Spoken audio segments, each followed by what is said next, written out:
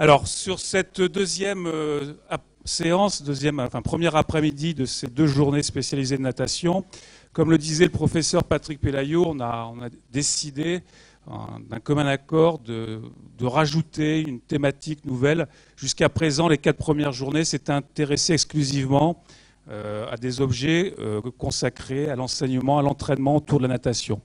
Aujourd'hui, on sait que euh, eh le, marché sportif, le système sportif a évolué et par voie de conséquence, les piscines également. Donc, elles étaient pratiquement toutes héritières d'une mission de service public. Aujourd'hui, avec les lois de décentralisation, avec euh, un rapport à, l'argent public qui a évolué, eh les, missions des piscines ont également évolué. C'est pourquoi cet après-midi sera consacré aux piscines de demain.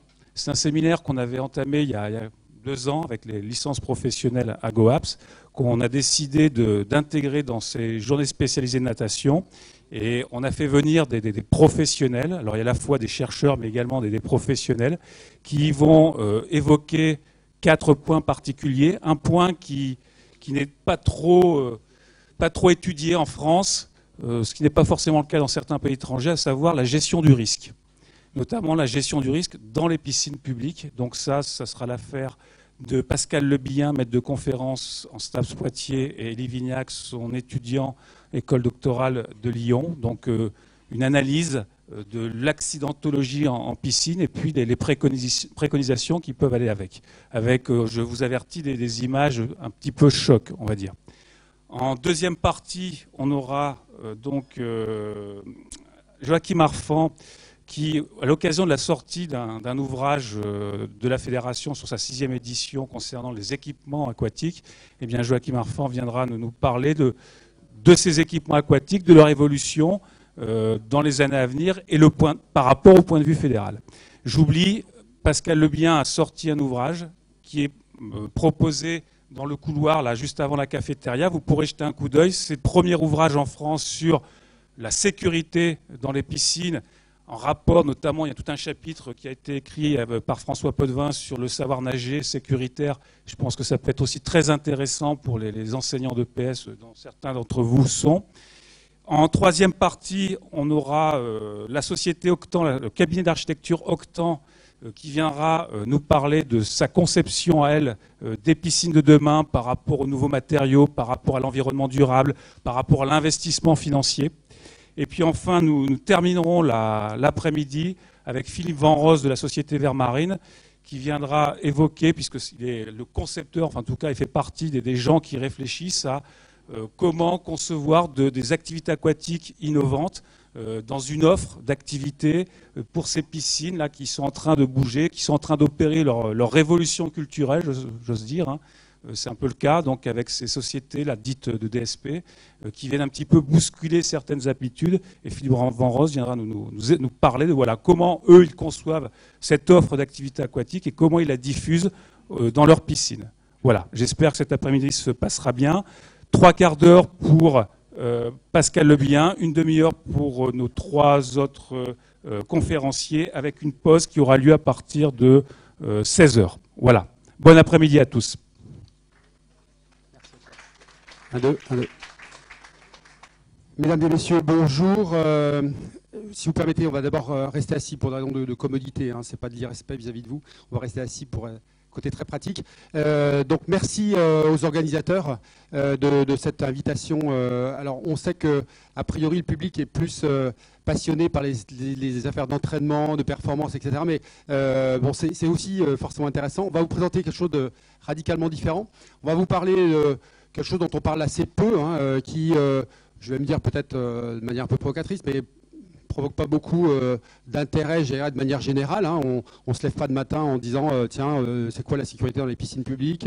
C'est quelque chose qui est euh, voilà, qui passe, qui est assez banal. Mais en fin de compte, vous allez voir que quand on s'y intéresse, quand on, en fait un objet de recherche, ben, finalement, on trouve des choses, hein, comme, euh, comme souvent, on arrive à trouver des choses intéressantes.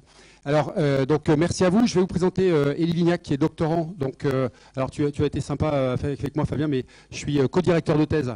Et le directeur de thèse, c'est certains d'entre vous le connaissent peut-être, c'est Bastien Soulet, qui est professeur d'université à, à, Lyon et qui est donc qui dirige cette thèse. Thèse effectuée au sein de Caen-la-Mer donc communauté d'agglomération de Caen-la-Mer, ville, ville de Caen. sur la prévention des noyades des piscines de camp la mer. Donc je lui passerai la parole dans, quelques instants. moi, j'ai un parcours un petit peu particulier puisque j'ai été, avant d'être à l'université, directeur d'un parc de loisirs avec golf, plan d'eau, camping 4 étoiles. Et là, j'y ai vécu euh, quatre expériences de noyade, dont trois mortelles. Et euh, j'ai ensuite été directeur d'un parc aquatique où j'ai eu deux expériences aussi de noyade, mais euh, cette fois-ci récupérées. ce qui explique peut-être mon choix de thèse en, 2000. je suis passé trois fois devant un juge d'instruction. Ça, marque forcément et je, vais dire ça, ça a dû me marquer dans le choix de, ce travail. donc j'ai commencé à travailler, mes premières amours, j'allais dire, c'est la, sécurité en piscine, et, j'y reviens en ce moment. J'ai fait une, une, parenthèse, euh, puisque je suis plongeur de, formation, sur euh, une, thèse, un commande de thèse avec Pierre Lebrun sur la, gestion des risques en plongée subaquatique de loisirs, donc avec un contrat de recherche avec la Fédération française d'études des sports sous-marins. Et puis, bah, je reviens avec bonheur avec ce travail de thèse sur euh, la, prévention des noyades en piscine publique. on va vous montrer il a, euh, Fabien a parlé d'une vidéo. On va vous montrer une vidéo. Alors, euh, je vous laisse apprécier. Euh, elle, est, de mauvaise qualité, c'est filmé en caméra fixe, mais j'allais dire, je pense que c'est assez parlant. pour voilà, elle dure un peu plus de 5 minutes, mais vous avez une bonne vision de, dire, le travail qu'on mène et que je vais bien sûr développer dans un instant piscine des États-Unis en 2006. Et vous avez, euh, bon, ça se passe de commentaires, il n'y a, pas de son, il y a une caméra fixe qui, fixe, qui, prend l'ensemble de... Donc cet enfant qui joue sur une, planche en rouge, et euh, le reste est commenté.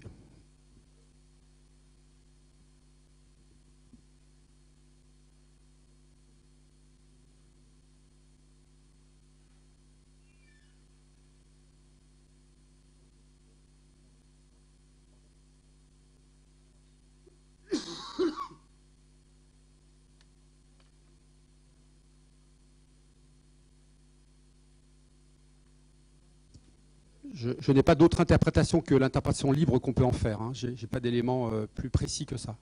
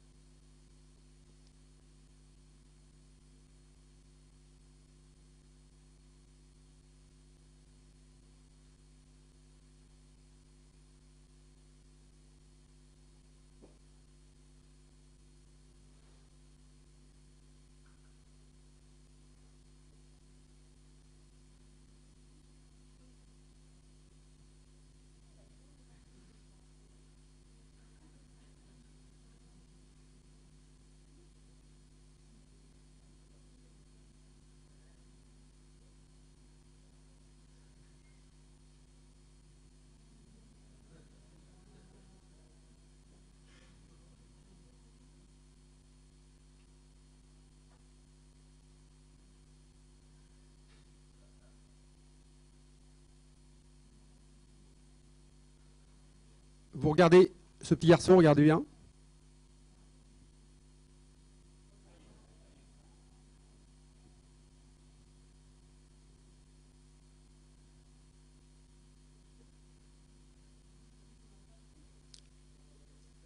Ce qui est intéressant euh, peut-être à ce stade, c'est d'essayer de, constater euh, la, faiblesse des signes visibles en surface lors de ce moment de détresse. Ça se passe très vite. Et regardez en une vingtaine de secondes, la personne va passer en phase sous-marine avec les conséquences qu'on va voir euh, après.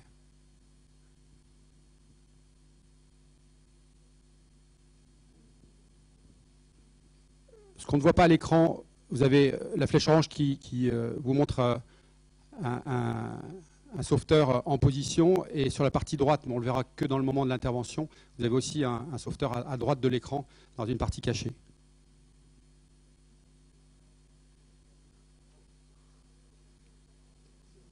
Peut voir ce, radeau flottant qui, effectivement, à ce moment-là, masque peut-être une bonne partie de la, surface du bassin au sauveteur.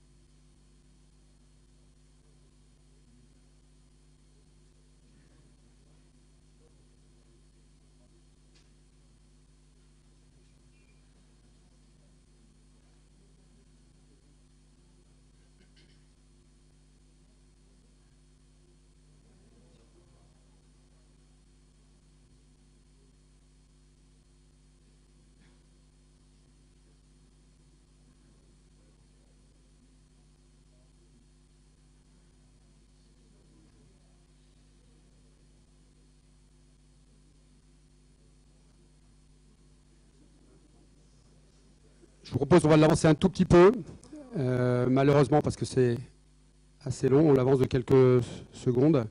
On avance encore un peu. Voilà. Bon.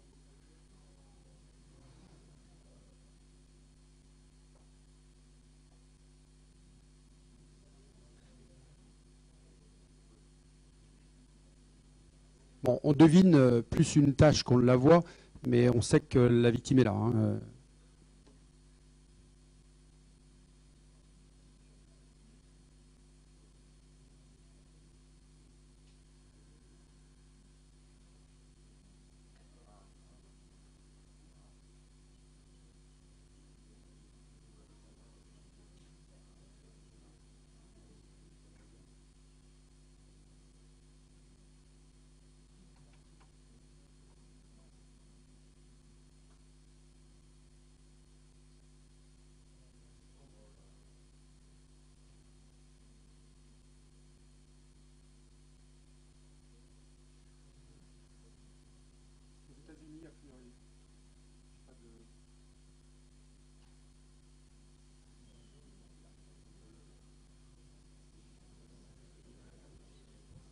Bon, ça y est, là, on a un usager hein, euh, qui perçoit quelque chose.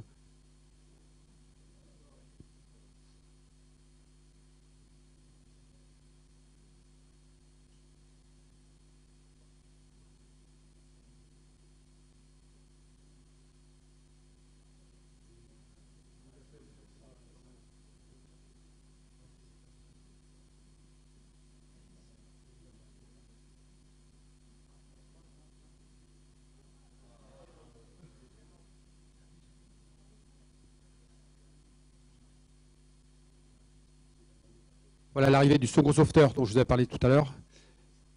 Et puis là, bon, on va, on va pas euh, vous montrer l'ARIA, ça ne présente pas d'intérêt. Bon, bien sûr, l'enfant décédé. Euh, voilà, alors c'est pas euh, pour faire du sensationnalisme face à vous, hein, c'est une réalité, hein. elle, est, elle, est, triste, elle est grave. Après, juste, on va essayer de, vous montrer, ben voilà, c'est un peu notre objet de recherche, essayer de comprendre ce qui se passe. Donc comprendre pourquoi les accidents surviennent en piscine publique, euh, on va parler euh, de chiffres tout à l'heure, même si ces chiffres sont imprécis, euh, ils ont au moins le mérite d'exister.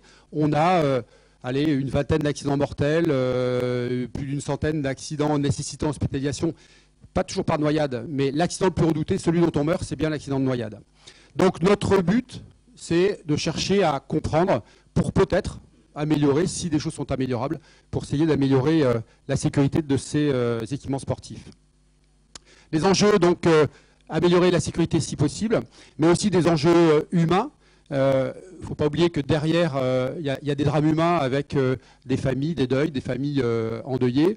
Des problèmes d'image. Il n'y a pas un équipement qui peut s'enorgueillir ou subir, j'allais dire, de manière totalement passive ce type d'accident. des raisons psychologiques. Moi, j'ai vu des, maîtres nageurs, pas seulement des jeunes. Hein. j'ai vu des jeunes en plan d'eau, notamment sur nos, quatre accidents, enfin, dans trois mortels. J'ai vu des gens totalement brisés, mais j'en ai vu aussi qui, 20 ans après, sur des entretiens, demandaient d'arrêter les, magnétos et qui se mettaient à pleurer simplement à l'évocation d'accidents. C'était même chose en plongée, évoquer des accidents euh, vieux d'il y, a 20 ans. Euh, bien sûr, des raisons judiciaires. Donc, euh, alors, on n'en voit pas. j'ai vu des, des moniteurs de plongée partir en prison, mais j'ai pas vu de maître nageur partir en prison. Donc, souvent des condamnations de 6 mois avec sursis, mais on est d'accord. Hein. je crois que c'est utile pour personne. Et puis des enjeux aussi financiers parfois. Un des objectifs ou un des enjeux de, la démarche, c'est bien de fournir aux acteurs des, des outils de réflexion et d'aide à la décision. Donc des questions récurrentes, vous allez voir qu'on part de, questions très très simples. Hein. C'est quel regard porter sur la sécurité dans un équipement sportif, dans une APS, et dans cet équipement particulier qu'est la piscine publique. Donc quel bilan, quel constat sur la sécurité? Finalement, pourquoi est-ce qu'on a des accidents? Euh, on, va, parler de vision systémique tout à l'heure, avec euh, des millions de baignades en entrée, et puis, euh, je vais dire, comme dans tout système, une partie de déchets. Pardon, hein, c'est pas cynique du tout, mais une partie de déchets. Est-ce que c'est 20 morts par an? Est-ce que c'est centaines d'accidents, parfois graves, sont un déchet acceptable du système? Donc peut-on améliorer? Quelles sont les, responsabilités des acteurs, bien évidemment Et je pense aux acteurs professionnels dont certains sont dans la salle. Et peut-on améliorer notre fonctionnement, diminuer cette accidentalité? Alors, premièrement, on, dispose de chiffres relativement approximatifs. C'est-à-dire que Elie vous en parlera dans un instant. Euh, les chiffres qui sont fournis, qui sont ceux de l'INVS, sont des chiffres, euh, alors non pas du tout euh, fantaisistes, mais des chiffres qui sont sous-estimés. Il vous expliquera pourquoi. des images édifiantes, on a commencé par ça. Donc il y a d'autres images qui sont très intéressantes, c'est les images de, des, vidéos enregistrées par le système Poséidon, qui montrent qu'effectivement, que ce soit sur des noyades primaires, donc un enfant qui perd son autonomie en surface, qui échappe souvent à la vigilance d'un adulte, qui se met en difficulté, on a ce type de noyade qu'on comprend facilement, puisque un enfant non nageur qu'on met dans un grand bain, effectivement, on comprend qu'il se noie. On a aussi malheureusement des noyés de gens dits nageurs. Et puis après, on a les noyades dites secondaires, c'est-à-dire après euh, syncope, arrêt cardiaque. Celles-là, on les comprend plutôt euh, très très bien. Noyade primaire et secondaire, je viens d'en parler prévention versus protection, euh, là, on, est très clair en, ce qui concerne nos résultats de recherche. On est aujourd'hui sur une démarche beaucoup plus interventionniste, c'est-à-dire que les acteurs qui sont formés aujourd'hui sont, formés à très bien nager, à très bien secourir, mais en fait, on ne leur apprend pas à prévenir l'accident.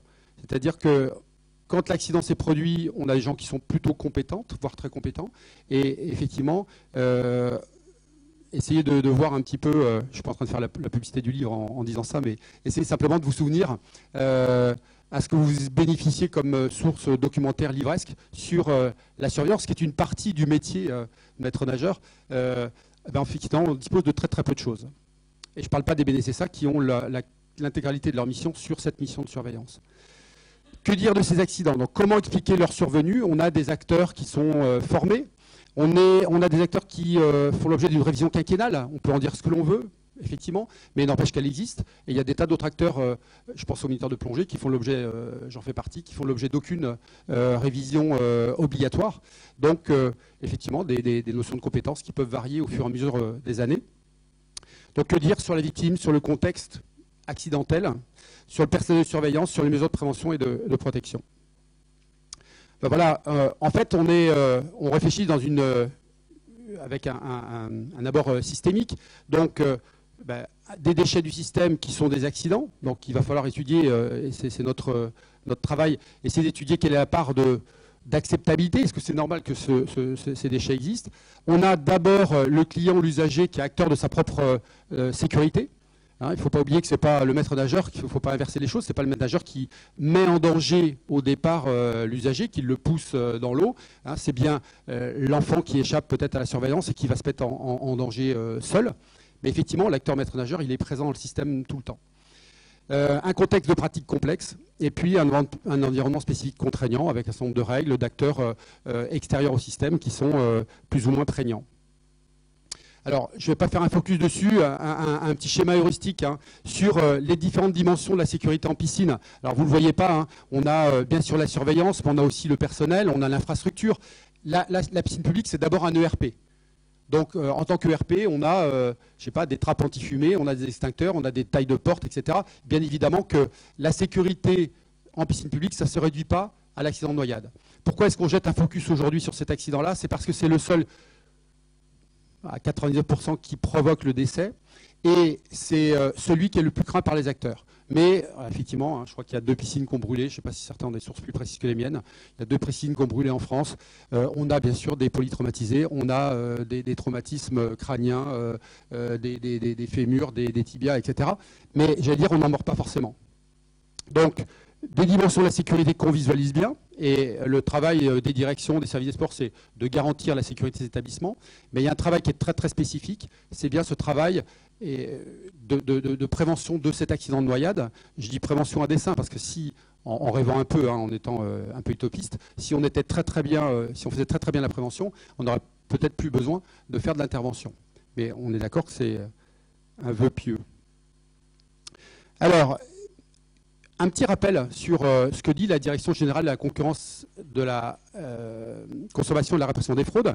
Une petite phrase euh, qui passe souvent inaperçue et qui est, à, mon, sens intéressante.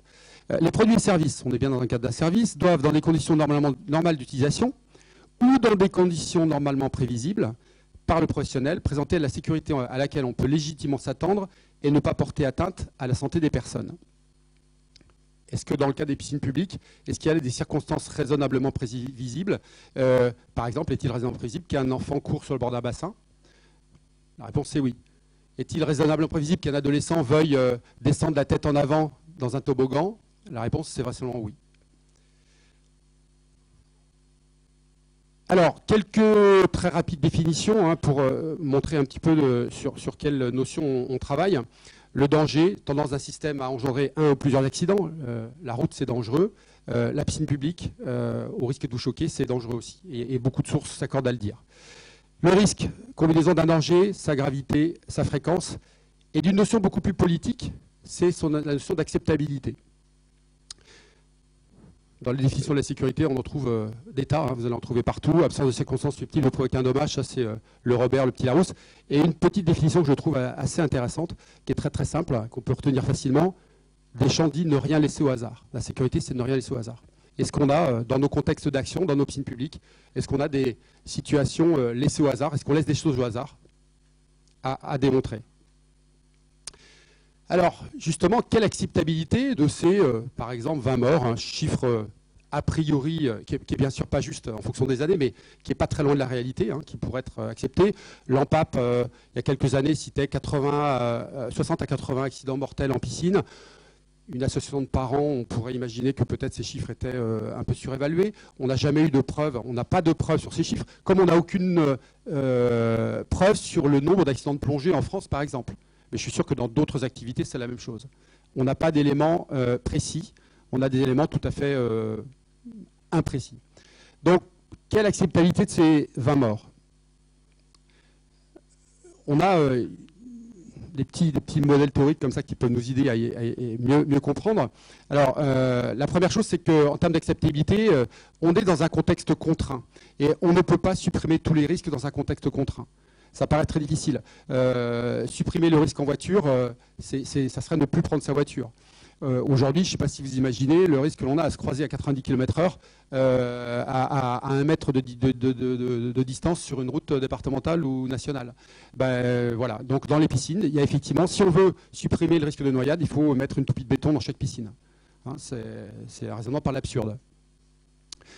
Donc dans les rames de farmer que je vous présente ici, on va chercher à traiter ce qui est le plus inacceptable. Donc on a, en fonction d'un diagramme euh, fréquence-gravité, euh, donc évidemment on a, euh, voyez, très peu d'accidents, évidemment relativement peu d'accidents dans les piscines publiques. Et je vous avoue que ni les professionnels ni le public ne s'offusquent de ce chiffre, d'ailleurs que quasiment personne ne connaît. Et puis, euh, effectivement, la bobologie, si je prends la bobologie, bah, effectivement, on en a quelques centaines de milliers de coupures, de, petits euh, bobos euh, comme ça tous les jours dans les piscines françaises. Et finalement, ça passe aussi très bien et, nos contextes gèrent ça plutôt très bien.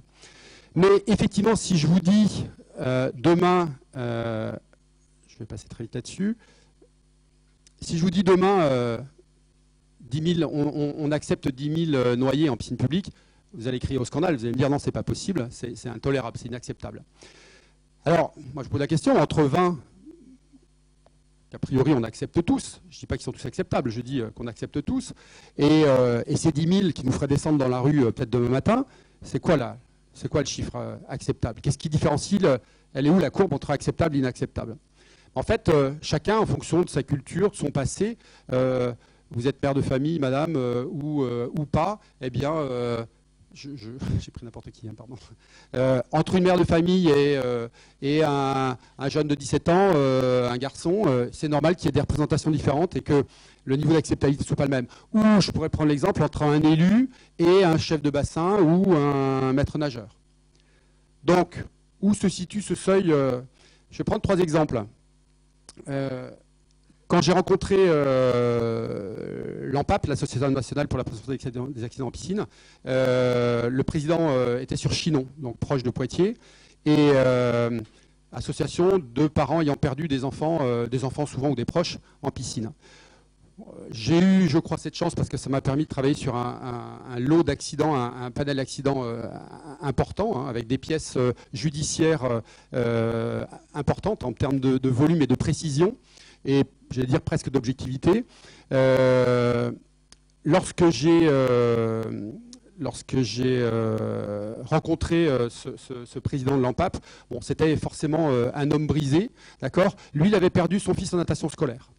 Donc, est-ce qu'il est acceptable de décéder dans une séance de natation scolaire? Je sais qu'il y a beaucoup d'enseignants parmi vous.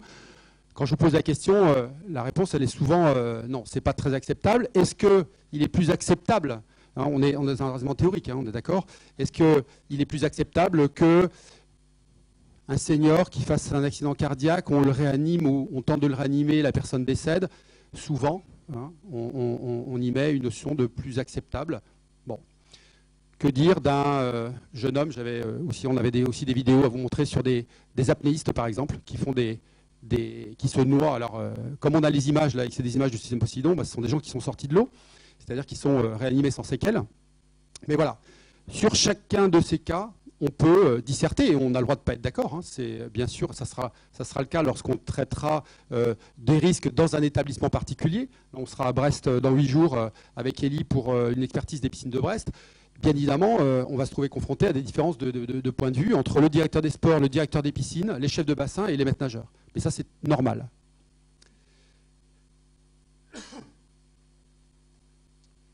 Donc, euh, quel niveau d'acceptabilité? On vous propose un niveau, euh, j'ai qualifié de plus séduisant, euh, l'acceptabilité basée sur l'absence de faute dans l'organisation. En tant qu'établissement d'APS d'accès payant, on pourrait donc trouver une sous-sécurité inacceptable. piscine de la Baule, il y a quelques années, je m'entraîne dans le grand bassin, un bassin extérieur de 50 mètres. Il y avait deux maîtres nageurs dans le bassin de 25 mètres, deux maîtres nageurs dans le bassin de 50 mètres, qui jouaient à la belote pendant une heure et demie sur le temps de surveillance. C'est euh, la piscine de ma modeste commune dans les Deux-Sèvres aujourd'hui, où on mesure, j'ai mesuré, mais je, dis je suis toujours un peu tordu, hein, euh, j'ai mesuré des absences de surveillance de 45 minutes consécutives du maître nageur qui prenait ses rendez-vous avec euh, les parents pour ces leçons de natation. Je ne dis pas que c'est vrai partout, hein, je dis que ça se voit. Exceptionnellement, de temps en temps, ça se voit. Donc, sous sécurité que je juge, après vous, avez le droit de penser le contraire, que je juge euh, à la limite de l'acceptabilité. Une sursécurité créative de danger potentiel. Alors, c'est un peu plus difficile à, dire, mais je vais prendre un exemple euh, qui est arrivé à l'université de Poitiers il y a, deux ans, où euh, sur les centres de natation universitaire, on a des BNSSA qui, encadrent les enseignants, qui surveillent les étudiants et en, en plus de l'enseignant. Et on avait, on était deux enseignants, on faisait, de la prépa euh, BNCSA, enfin un cours sauvetage, euh, sauvetage, et on avait un BNCSA pour deux. Donc on n'était pas dans les clous. On a demandé au doyen de nous en mettre un deuxième, comme le prévoit la règle, et euh, il a dit ben, c'est évident, c'est normal. Au bout donc on avait un BNCSA, on est passé à deux, et au bout de 15 jours, je les ai observés, et je suis allé les voir à la fin de la séance, et je leur ai dit, ben, vous voyez, on vient d'augmenter le nombre de surveillants par deux, et on a diminué la quantité de sécurité par deux. ils m'ont regardé. Qu'est-ce que vous dites? Ben oui, parce que finalement, ils s'étaient mis l'un à côté de l'autre à discuter. Et ils étaient très vigilants, euh, quand, enfin, la, personne est très vigilante quand elle est seule. Effectivement, on est passé sur un, modèle très différent. Alors, ça, ça s'est régulé, bien évidemment, mais on peut trouver parfois hein, du surprotectionnisme qui pourrait conduire à un manque de sécurité. Et bien sûr, le modèle vers lequel on vous propose de tendre, c'est une sécurité acceptable dans la mesure où tout a été mis en place pour éviter ce qui était raisonnablement prévisible. Il y a un principe qui est le principe ALARA qui dit niveau de risque aussi bas que raisonnablement possible. Donc l'objectif sera de tendre faire ce risque aussi bas que raisonnablement possible.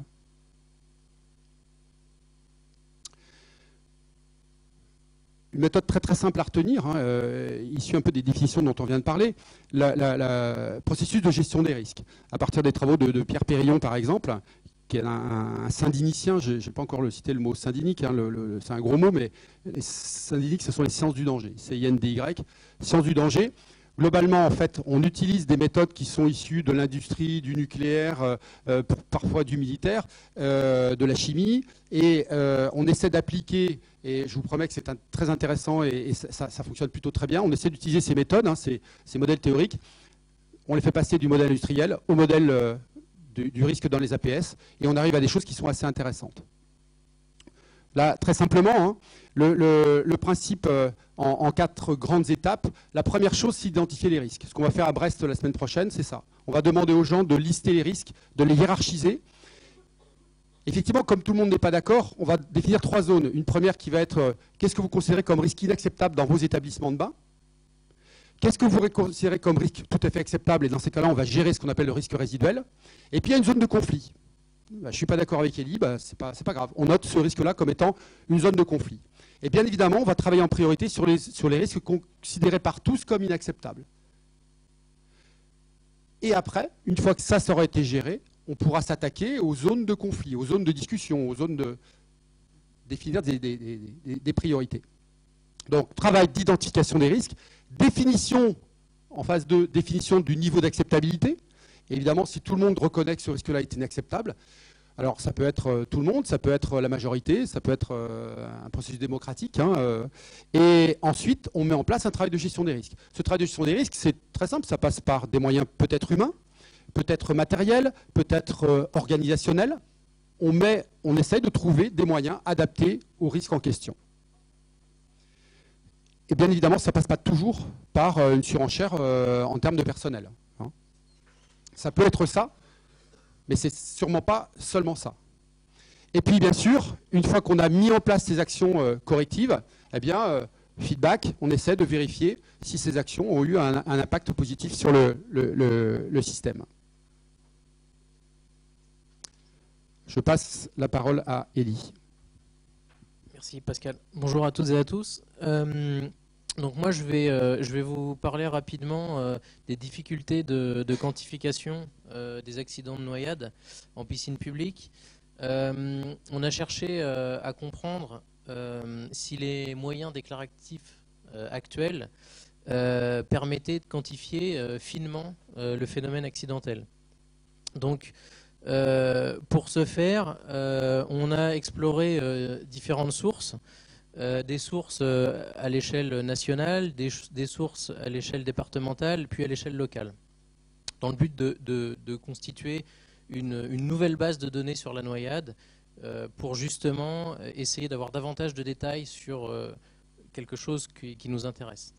Donc au niveau national, forcément, on connaît tous l'enquête de l'INVS, donc l'enquête noyade, qui a généralement lieu tous les deux ans et qui euh, se, déroule de, septembre, euh, de juin pardon, à septembre.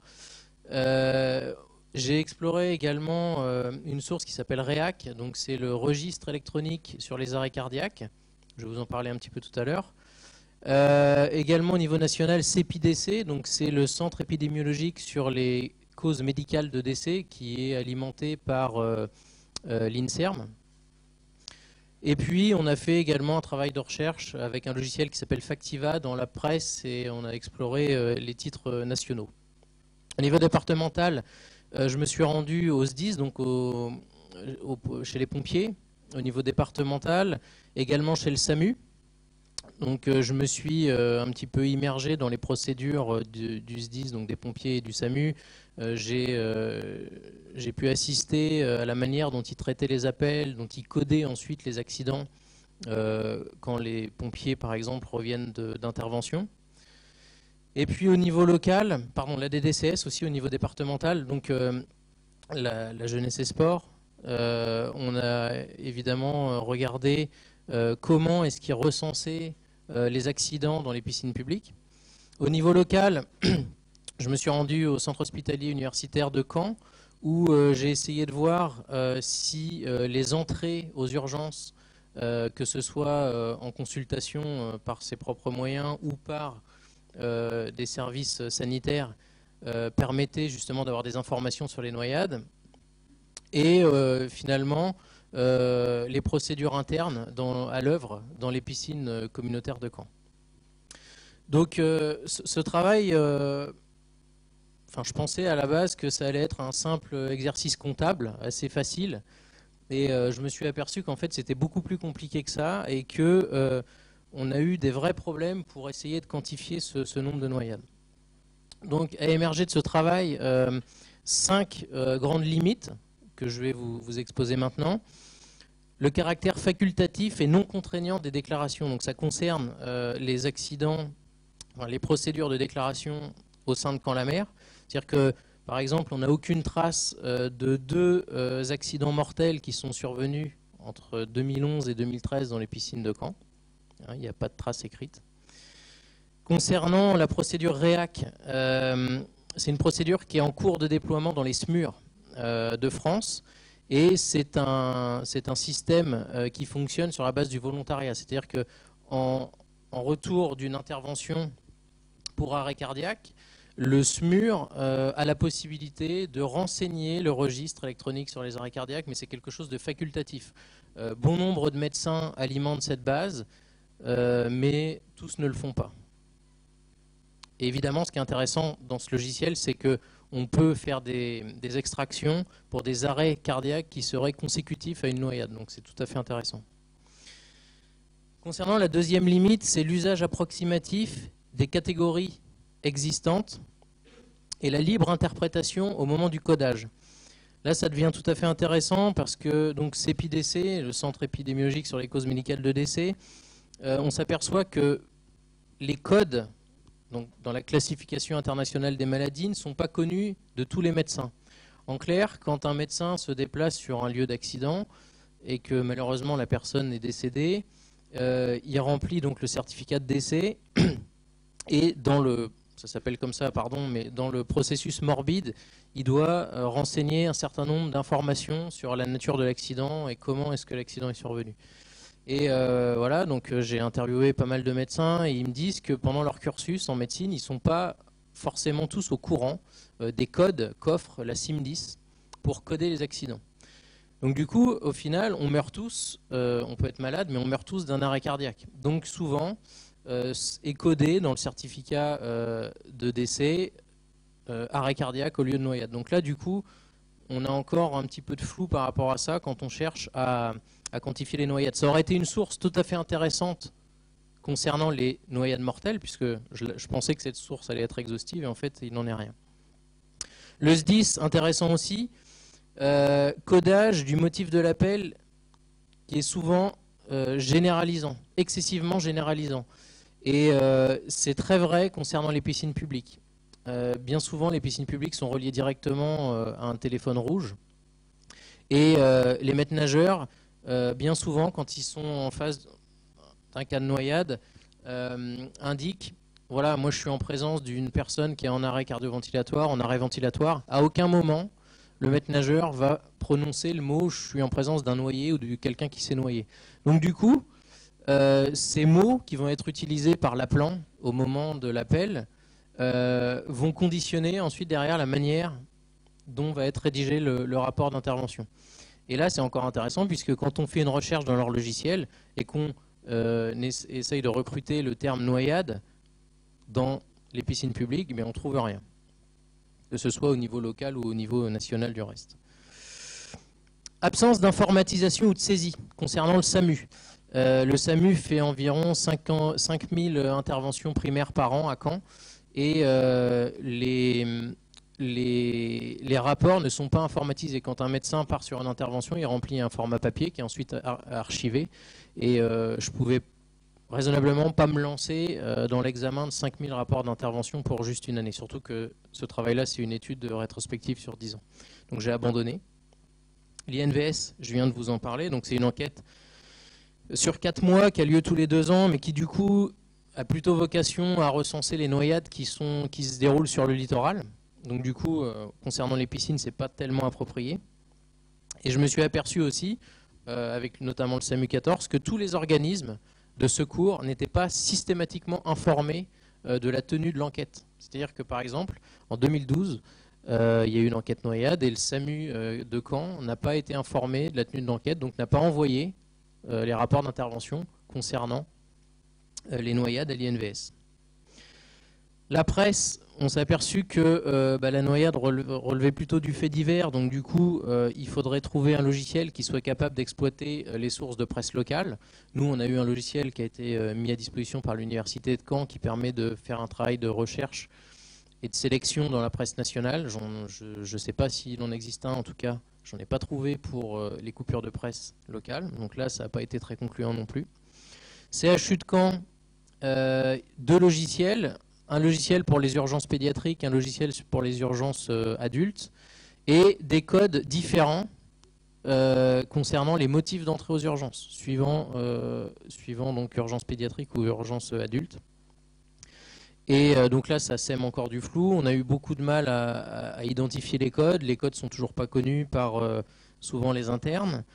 Et pour pouvoir utiliser cette base euh, de manière euh, satisfaisante, il aurait fallu monter un, protocole d'étude médicale d'intervention sur les données euh, qui est très lourd à monter. Donc du coup, on a un petit peu abandonné aussi là-dessus. Et la DDCS, donc qui concerne la, cinquième limite, pardon, non-respect d'une obligation de déclaration et méconnaissance d'une procédure. C'est-à-dire qu'il y a en France, le, le, Code du sport le prévoit, il y a une procédure accident grave, c'est-à-dire que quand il se passe un accident grave, donc n'y a pas de définition euh, claire de ce que c'est que l'accident grave, mais en tout cas, euh, quand il y a un accident grave en piscine publique, euh, l'exploitant doit tenir informé la jeunesse et sport du département. Et là, on s'est aperçu qu'il y avait très très peu de choses qui remontaient dans les jeunesses et sports, et que du coup, les procédures accident grave étaient très méconnues de la part des maîtres nageurs et des exploitants. Voilà pour ce qui est de, pour ce qui est de, ces difficultés de quantification.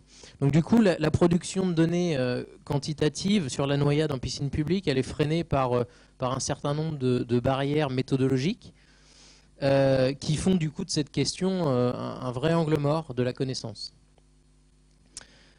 On, on conclut sur ces travaux que l'accidentalité, c'est quelque chose qui doit se construire au plus près du terrain qu'on euh, doit recenser vraiment l'intervention des maîtres nageurs euh, vraiment sur le terrain et pourquoi pas euh, créer un observatoire sur la noyade pour qu'on puisse centraliser toutes ces informations.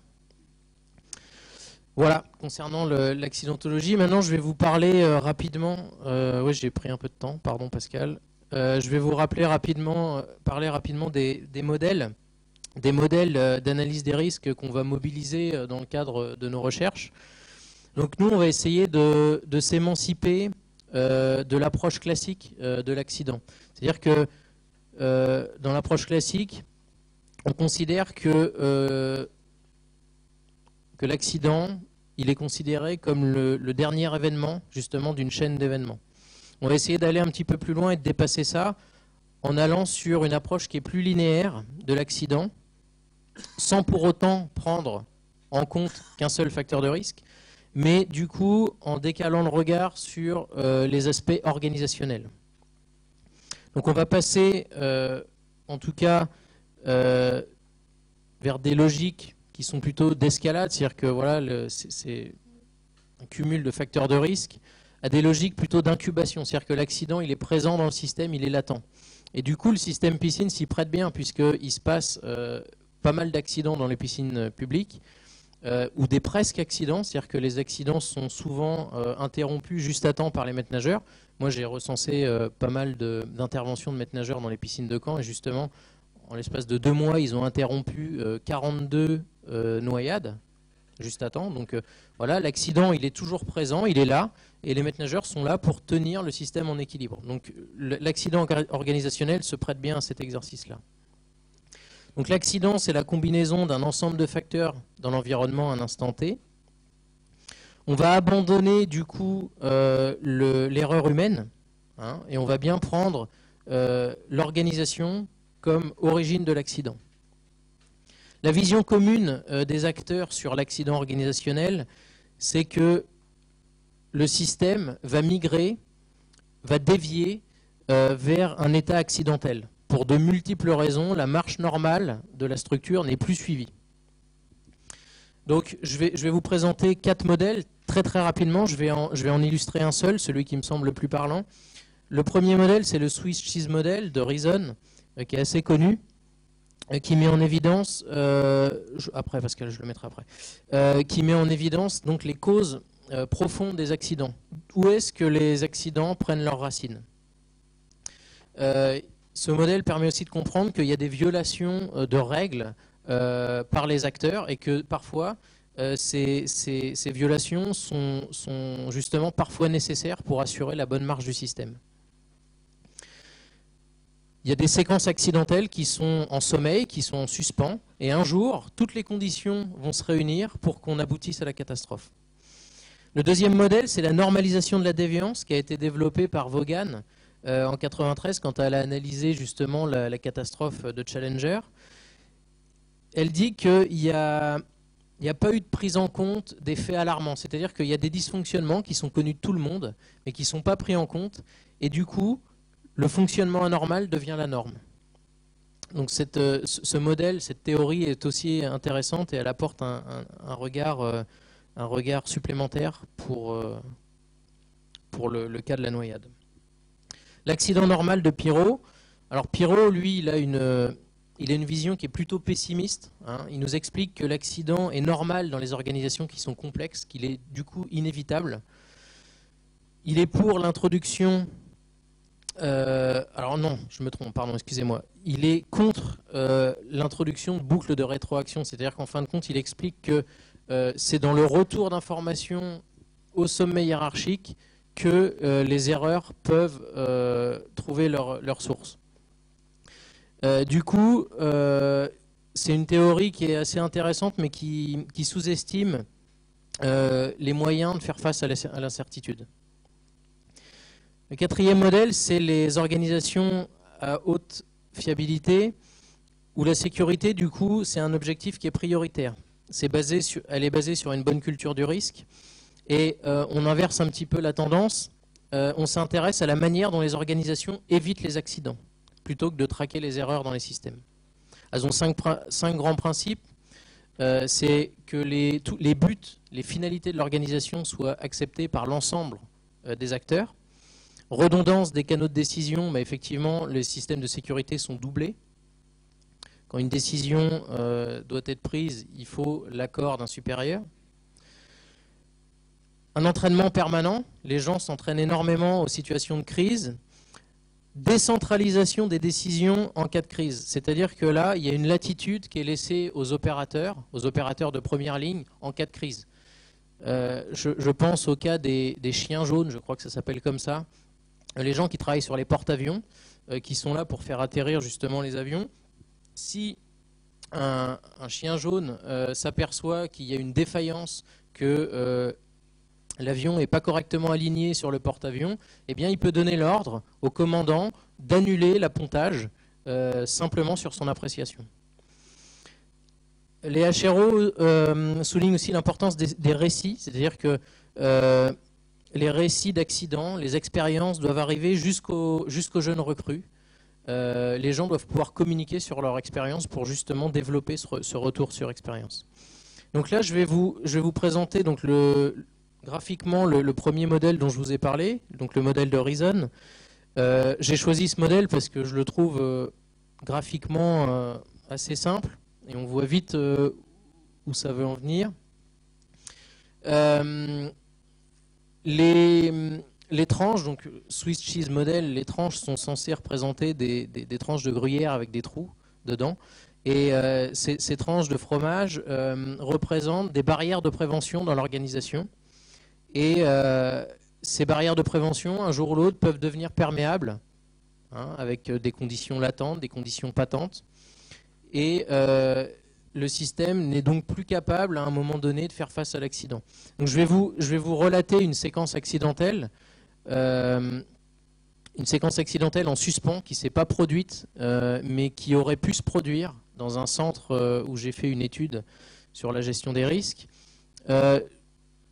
Je dois vous dire que toutes les conditions de cette séquence accidentelle dont je vais vous parler ont déjà été réunies. Il en manquait une. C'est ce qui fait que la séquence accidentelle ne s'est pas, pas déroulée. Mais en tout cas, c'est des choses qui sont tout à fait réalistes et euh, qui peuvent se produire à tout moment. Donc on a un, enfant euh, qui accède euh, seul à la structure, sans système de flottaison. Ça, dans le, complexe que j'ai étudié, c'est quelque chose qui arrive tous les jours. On a des fois des parents qui laissent les enfants arriver seuls dans la structure, les enfants n'ont pas de brassard, etc. En fin de journée, le, le sauveteur qui se trouve au poste central accueille les clients et range des gilets de sauvetage.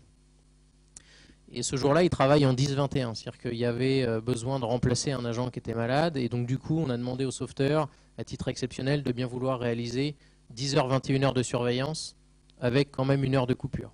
C'est quand même une journée qui est, difficile. Donc on a ce sauveteur qui est là, sur le poste central, qui est censé filtrer les entrées, qui est aussi censé être posté sur une estrade. Pourquoi posté sur une estrade? Parce qu'il peut surveiller en tout cas, il a visuel sur euh, des caméras, sur des écrans de surveillance qui filment certains angles morts. Donc il n'est pas posté sur l'estrade parce que du coup, on lui a demandé, la hiérarchie lui a demandé aussi d'être là, présent pour accueillir les clients et pour orienter les clients sur la structure. Il n'est pas sur l'estrade parce qu'il range les gilets, c'est bientôt l'heure de fermer et il a envie de prendre un petit peu d'avance sur son travail. Et du coup, on a cet enfant qui est là, sans ses parents, et qui souhaite accéder au poste toboggan. Donc du coup, il suit des adultes. Hein, le maître nageur pense qu'il suit ses parents, or ce ne sont pas ses parents. Il suit des adultes et se dirige vers les toboggans. Le poste toboggan, il est intéressant parce que c'est un poste euh, qui n'est pas surveillé, euh, qui n'est pas surveillé avec un surveillant à demeure, d'accord, euh, en période de fonctionnement normal. Ce poste-là, il est surveillé par un surveillant à demeure uniquement pendant les week-ends ou pendant les vacances scolaires. Là, on est un vendredi soir il y a du monde, et ce poste, il est surveillé par une caméra et par un miroir. Par une caméra qui est reliée directement au poste central, qui est censé être visible depuis l'estrade, et euh, également visible par un miroir. Il y a un poste de surveillance qui est un, petit peu plus haut, et le maître nageur qui surveille euh, une autre arrivée de toboggan est censé aussi regarder ce deuxième toboggan par l'intermédiaire d'un miroir. Et on s'aperçoit qu'en fait, dans le discours des acteurs, que, étant donné que la mission de surveillance sur le poste toboggan, est essentiellement répressive, eh bien, les maîtres nageurs, quand ils se livrent dans les entretiens, ils nous expliquent qu'ils occultent complètement la surveillance par le miroir, et que du coup, le maître nageur qui surveille sur l'estrade, enfin qui est censé être surveillé sur l'estrade pour regarder la caméra, n'y est pas. Donc du coup, on se retrouve avec un poste de surveillance qui n'est pas surveillé. Là, on comprend bien avec ce, modèle d'Horizon que si l'enfant se noie, euh, c'est pas parce que, c'est pas seulement parce qu'il sait pas nager, et c'est pas non plus que de la faute du maître nageur. Il y a des vrais problèmes au niveau de l'organisation, et donc c'est important de décaler le regard sur ce qui se passe en amont de l'accident. Voilà ce que je voulais vous dire.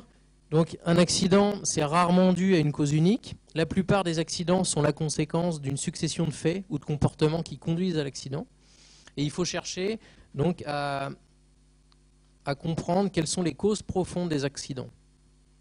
Et surtout, éviter le simplisme dans l'explication des, mécanismes accidentels. C'est-à-dire que quand on explique trop facilement un accident de noyade, eh bien, ça génère ce qu'on appelle un, phénomène de masque. Euh, les, syndiniciens, Kervern appelle ça un phénomène de masque syndinogène, euh, qui, du coup nous empêche de regarder euh, en amont de l'accident et qui nous empêche de cerner la complexité organisationnelle autour justement de la construction de, cet accident. Il faut comprendre aussi ce qui a poussé les acteurs à transgresser les règles. Et il faut aussi tenir compte que parfois, les acteurs sur le terrain, ils héritent de décisions qui sont prises à des niveaux hiérarchiques supérieurs. Voilà. Je vais repasser la, parole à Pascal. Je vous remercie de votre attention. Euh...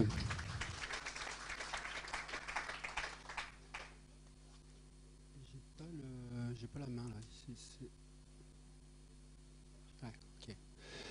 Alors très, rapidement, 5 minutes, ok. Euh, comment est-ce qu'on procède pour travailler euh, Bon, méthode assez classique. On est plutôt sur des démarches de la sécurité. Euh, vous, comprenez qu'on est d'abord sur des méthodes qualitatives plutôt que quantitatives.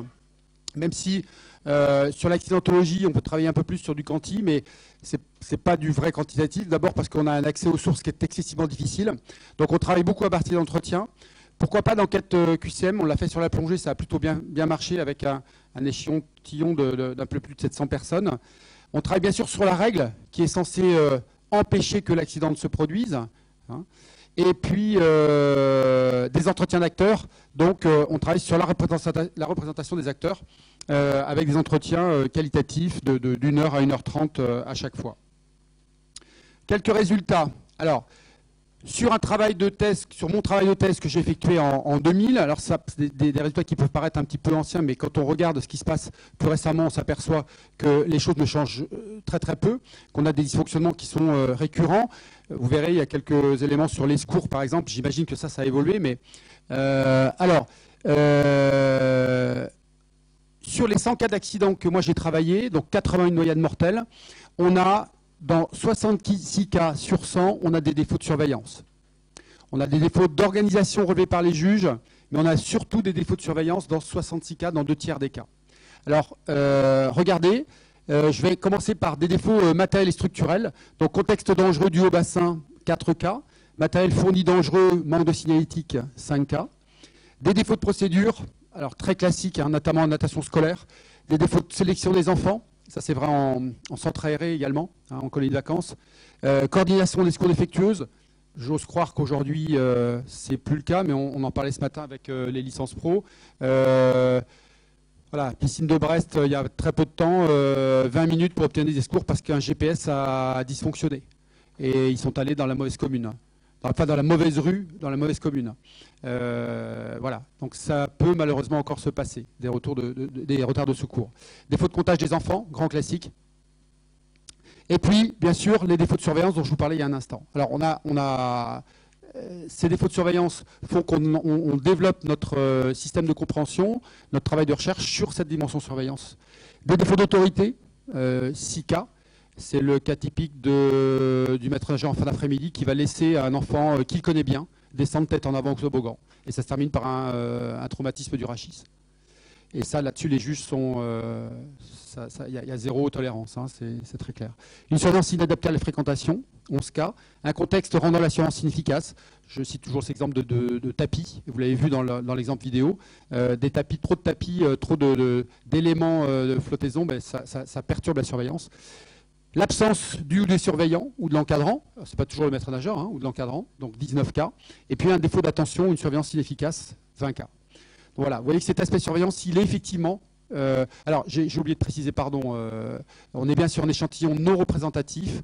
Euh, je n'ai pas la prétention de dire que cet échantillon d'une centaine de cas d'accident ou ces 80 noyades sont le reflet strict de la vérité dans les piscines françaises. C'est l'échantillon que j'ai pu me procurer, ça a été compliqué, ça a été la même chose en plongée, très difficile. Il faudrait passer par des procureurs. Certains procureurs, un procureur nous a autorisé à, travailler sur des sources euh, dans les tribunaux. Sinon, c'est euh, le poids de la justice, j'allais dire, qui, ferme un peu ces, portes. Euh, deux grandes notions hein, sur la réglementation. La notion de surveillance constante des baignades, et là on, on en a longuement parlé avec les étudiants ce matin, notion de surveillance des baignades ou des bassins. Euh, on peut jouer sur les mots un tout petit peu. Hein, euh.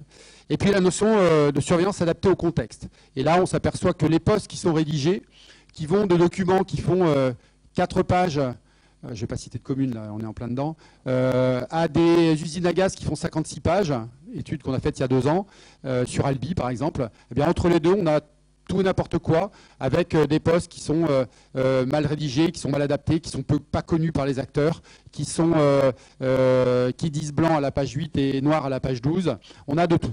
On a de tout. Hein. la norme NF 15288 sur le, le, volet conception et fonctionnement d'établissement, mais je ne vais pas en parler euh, longtemps. Euh, normes non applicables, hein, non obligatoires euh, en France. Et puis qu'est-ce qu'on retient? Donc nombreuses ambiguïtés, zones d'incertitude, voire une certaine hypocrisie. Je prends l'exemple par exemple des bassins d'été surveillés par une seule personne, avec parfois plusieurs bassins. Je dis bassin d'été, Bordeaux, il y a encore un de mes étudiants qui travaille sur une piscine, alors en, DSP, mais chez un concurrent de, de Vermarine, avec quatre bassins et une seule personne en surveillance. Il n'y a pas de problème de règle la règle et euh, il y, a bien un respect de la règle. C'est-à-dire qu'on peut surveiller. Après, c'est le juge qui, en cas de problème grave, euh, en cas notamment de décès, va éventuellement retenir la qualification de surveillance adaptée au contexte.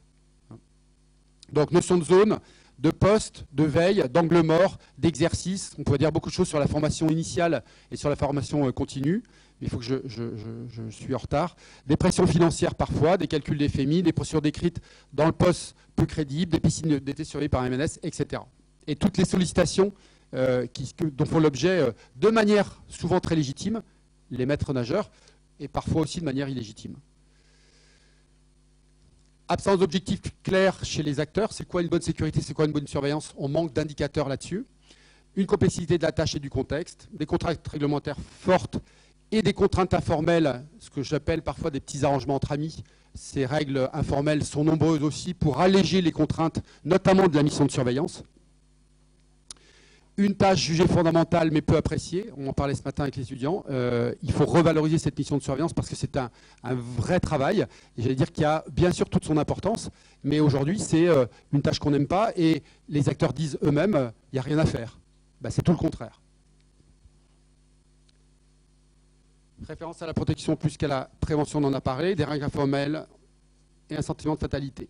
Donc, je passe très très vite. Donc, il est clair que sur l'assurance, on a des moments de non-surveillance nombreux mais non quantifiés à ce jour. Ça, c'est un travail qui reste à faire et qu'on va faire dans les années à venir. Les incidents et presque accidents sont sous-exploités et notamment, on n'a pas parlé beaucoup de retour d'expérience, ce fameux REX, c'est-à-dire utiliser les incidents et presque accidents, voire les accidents, et les faire, connaître au plus grand nombre pour en tirer des, renseignements euh, précieux. Donc on a des, défaillances avant l'accident, pendant l'accident et après l'accident. Une fois que la personne est en phase sous-marine, notamment, on a beaucoup de difficultés pour les percevoir. Mais les choses s'expliquent. Hein. Il y a des choses qui sont euh, expliquées, des choses qui sont euh, non expliquées mais qui ne sont pas forcément inexplicables. On peut euh, travailler là-dessus. Je passe très vite. Alors, des pistes, hein, c'est une vigilance active, c'est une vigilance continue, c'est un bon poste de surveillance, c'est des, surveillants adaptés. Illustration sur le. On a fait un, poster intéressant.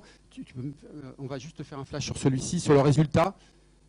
Alors, regardez par exemple, pour montrer que l'accident trouve sa source parfois, pardon pour la plongée, hein, je ne vous demande pas de retenir quoi que ce soit sur la plongée, ce n'est pas plus intéressant qu'autre chose, mais regardez par exemple le cas typique des plongeurs qui vont se déplacer euh, mercredi soir, c'est-à-dire euh, il y a des, clubs de Lille, de Nancy qui vont se déplacer sur, euh, sur la Costa Brava en Espagne, qui vont partir mercredi soir pour les 4 jours de week-end et qui vont arriver, qui vont surtout pas vouloir louper une seule plongée du jeudi matin. Ils auront peut-être bu quelques bières dans le camion ou dans le bus, ils auront sûrement mal dormi et ils vont absolument vouloir plonger, alors sûrement dans 20 mètres d'eau, et on aura des accidents, des compressions dits immérités, on ne comprend pas pourquoi ça se produit. Eh bien effectivement, ça commence par de la fatigue, par des repas festifs, par euh, un contexte, j'ai mis euh, affectif euh, hors plongée. On a, trouvé euh, effectivement quelques suicides ou des dépressions, etc. Mais vous voyez que l'origine de l'accident se trouve bien avant parfois euh, le contexte lui-même. Hein, ça, commence bien avant la plongée, bien avant le déplacement en bateau, bien avant l'immersion. Mais on a aussi des éléments qui se conjuguent après. Hein. Donc sur le lieu de plongée, en immersion et à la sortie de l'eau, on a aussi des, des éléments. Je passe un peu vite, pardon. Et ben, nous répondrons avec plaisir à vos questions et nous vous remercions de votre attention. Merci Elie, merci Pascal. Alors effectivement, il y a un petit paradoxe, on est tous MNS euh, en puissance ici pratiquement dans la salle, et puis effectivement, on s'est pratiquement jamais formé aux questions de sécurité, ou presque pas. Et puis là, je pense que Elie et Pascal viennent de nous renvoyer en pleine figure euh, un petit peu nos obligations lorsque nous faisions des saisons, ceux qui en font encore euh, l'été par exemple, dans des jobs étudiants. Alors on a malheureusement, alors c'est un, sujet euh, vieux comme le monde, mais en même temps la recherche ne fait que démarrer, si j'ai bien compris. Et on n'a que cinq minutes. Je suis désolé Pascal, deux questions. Alors je sais qu'il y a quelques directeurs de piscine, trop peu à mon goût, euh, et quelques formateurs de MNS. Donc peut-être que ceux-là sont, plus intéressés, ont quelques questions à poser à nos invités.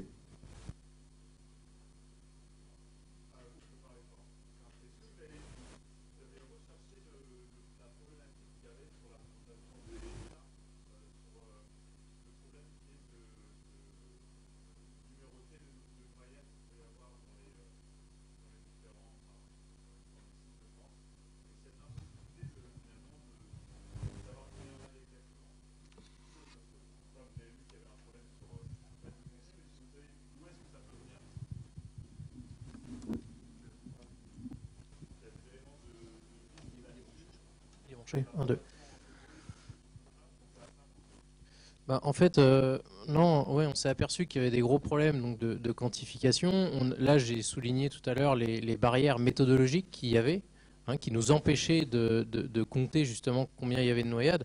Après, c'est sûr qu'on pourrait éventuellement euh, faire de la sensibilisation. Voilà, les gens qui, portent secours, euh, les, inviter à, noter. Et, euh, voilà, mais je pense que c'est un niveau au-dessus encore que ça se joue. Je pense qu'il faut qu'il y ait quelque chose qui soit mis en place pour recenser les, accidents, peut-être au niveau local et puis ensuite au niveau national, concernant la noyade.